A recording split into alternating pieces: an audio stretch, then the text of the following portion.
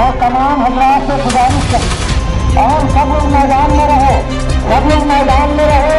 जब यहाँ के जिम्मेदार रूप लेकर आगे चलेंगे तो आप लोग उनके पीछे पीछे चलेंगे। उलमा ग्राम की स्वागत में ये जुलूस निकलनी है और मैं तमाम लोगों से गुजारिश कर रहा हूँ। सब लोग मैदान में रहे, अभी सड़कों पर कोई न रहे। और किसी तरह का कोई नारा नहीं मरेगा एक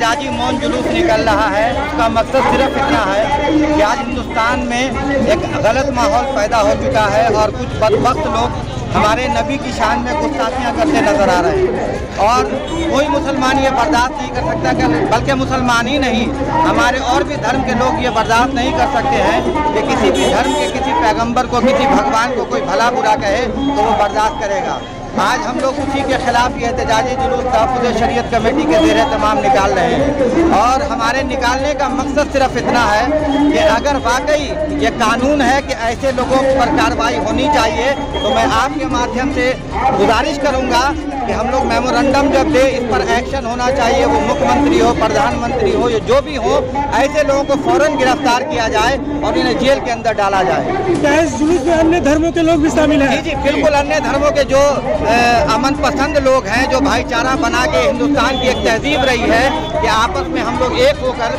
रहते हैं और रहेंगे इन ये वक्ती तौर पर थोड़ा मामला है, लेकिन इन ऐसा नहीं होगा। सब धर्म के लोग इसमें साथ दे रहे हैं। गलत का साथ कोई भी नहीं दे सकता बल्कि वो लोग सच्चे के साथ लोगों ने लिखित शिकायत करने की भी बात कही जी जी हम लोगों ने मेमोरेंडम दिया है और मेमोरेंडम सिर्फ़ डीएम को नहीं बल्कि पीएम गृह मंत्री मुख्यमंत्री और तमाम महकमे में जाएगा ये मेमोरेंडम एफ़ आई आर भी आज होगा? जी। वैसे लोगों को एफ़ आई आर भी होगा। हम लोग मांग कर रहे हैं एफ़ आई आर करने की। रियाज खान कादरी।